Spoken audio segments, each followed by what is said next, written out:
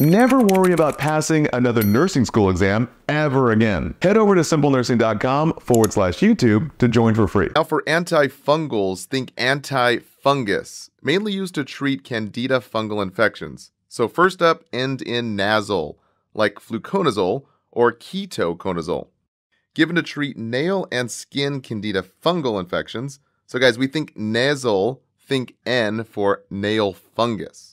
Now, it's taken for two to six weeks and it's very liver toxic, like most antifungals. So, the key point here is that it does not treat C. diff infections. Remember, nasal treats nail fungus and dazzle treats the gut for C. diff bacteria. Now, guys, don't get tricked with these sound alike names. Nasal is not a dazzle. So, metronidazole, like flagyl, treats C. diff. Remember, there's nothing dazzling about C. diff. Now, amphotericin B is for serious fungus and causes serious terror on the body with lots of side effects.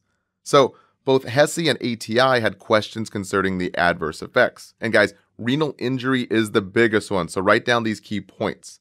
A creatinine over 1.3 means bad kidney, and urine 30 mLs per hour or less means the kidneys are in distress and oliguria, low urine, just another name for it. Now, nystatin is given to treat candida infections of the mouth, the GI, skin, and even vagina. Now, it's not to be confused with lovastatin, the cholesterol drug. Guys, this is nystatin. Now, the HESI asked about these key points. So, guys, write these down. It treats oral candidiasis, or basically candida.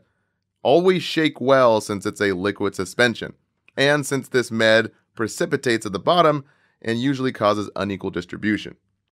Next thing is inspect mucous membranes. Thanks for watching today's video. Remember to type simplenursing.com forward slash YouTube into your search bar and join well over 1 million students hacking their nursing school system.